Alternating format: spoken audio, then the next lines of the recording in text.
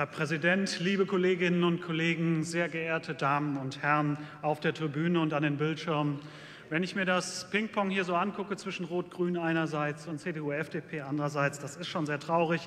Ich glaube, Ihnen gehört beiden mal eingeschenkt.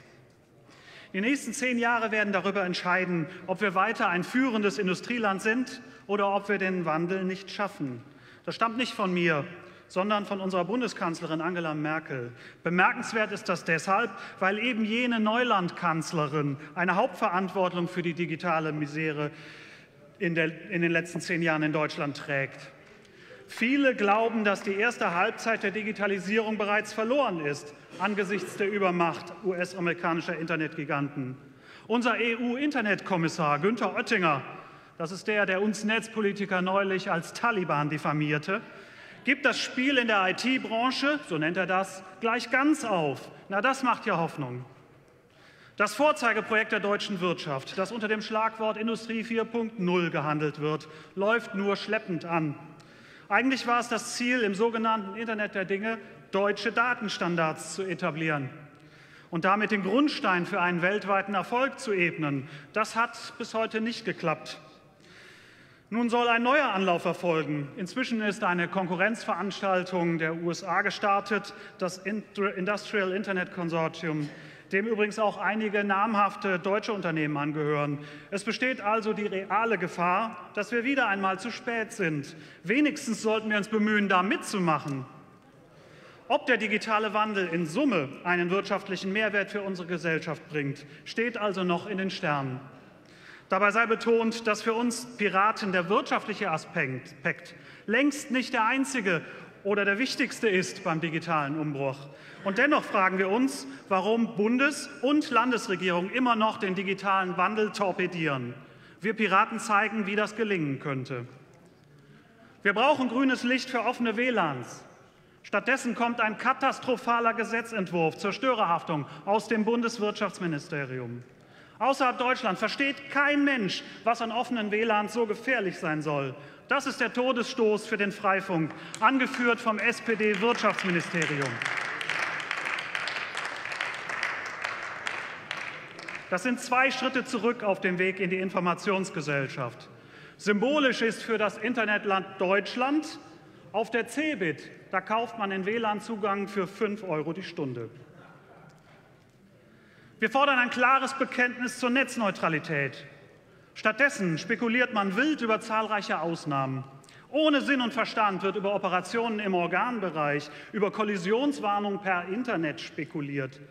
Auch in unserem gemeinsamen Beschluss zur Netzneutralität hier im Landtag hat sich die Landes-SPD nicht von diesem Unsinn abbringen lassen und auf wolkigen Ausnahmen bestanden. Wohin das führt, können wir jetzt sehen. Eine Netzneutralität mit solchen Ausnahmen ist wie ein bisschen schwanger. Wir brauchen ein deutliches Nein zur Vorratsdatenspeicherung und damit ein Nein zu einer anlasslosen Massenüberwachung und zu gigantischen Datenhalten. Bundeswirtschaftsminister Gabriel und unser Innenminister Jäger wollen sie aber doch einführen, ohne dass es den geringsten Beleg für die Wirksamkeit gibt. Heimlich hofft man vielleicht mal wieder auf das Verfassungsgericht und die von ihm gezogenen bürgerrechtlichen Grenzen. Innerhalb der SPD traut sich niemand hinzustellen und zu sagen, wir wollen keine Vorratsdatenspeicherung. Basta! Das ist ein trauriger Eiertanz.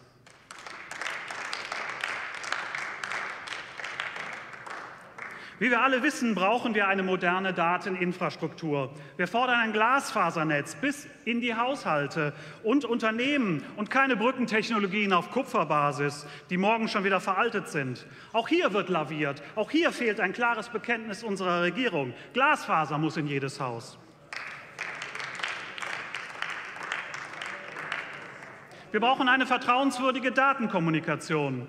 Während die Geheimdienste in Zusammenarbeit mit der Bundesregierung den NSA-Untersuchungsausschuss im Bundestag sabotieren, lehnen die regierungstragenden Fraktionen hier im Landtag alle unsere Anträge ab. Endlich nordrhein-westfälische Unternehmen gegen Wirtschaftsspionage effektiv zu schützen, das ist doch eine Farce. Stattdessen sollte das Land es besser machen können und zum Beispiel quelloffene Verschlüsselungssoftware fördern. Eine besonders traurige Rolle spielt unsere, äh, unsere Landesregierung beim Thema Leistungsschutzrecht. Wir diskutieren hier im Parlament über die Förderung von digitalen Gründungen. Während aufgrund dieses Lobby-Spezialgesetzes zugunsten einer speziellen einzelnen alten Branche bereits elf Internet-Start-ups zugemacht haben. Was meinen Sie, wo diese Unternehmer jetzt hingehen? Was meinen Sie, wo das nächste Internet-Mega-Unternehmen entstehen wird? Ganz sicher nicht hier. Die Landesregierung hätte es in der Hand gehabt, dieses Gesetz im Bundesrat aufzuhalten. In der Großen Koalition hätte man anschließend dieses Gesetz neu verhandeln können und es verhindern, dass es so schädlich, wie es jetzt ist, in Kraft tritt. Wir sehen jetzt die Folgen. Ein Schuss in den Ofen, eine Stärkung der Marktmacht des Monopolisten, rechtliche Unsicherheit für alle anderen. Danke für nichts.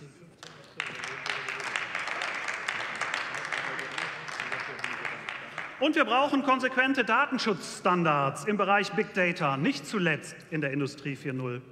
Wenn immer mehr sensible Daten miteinander verknüpft werden, ist die Schreckensvision des gläsernen Bürgers nicht mehr fern. Die Zivilgesellschaft muss sich aktiv gegen Datenkraken und Massenüberwachung zur Wehr setzen. Maximaler Schutz der Privatsphäre muss zum Standard erhoben werden. Die politischen Rahmenbedingungen dafür sind längst überfällig. Schaut man sich das Kompetenzgerangel verschiedener Ministerien bei digitalen Themen an, dann muss man zu dem Schluss kommen, dass ein Internetministerium dringend nötig ist. Denn dann kommen die Menschen in der digitalen Transformation nicht unter die Räder einzelner Interessengruppen.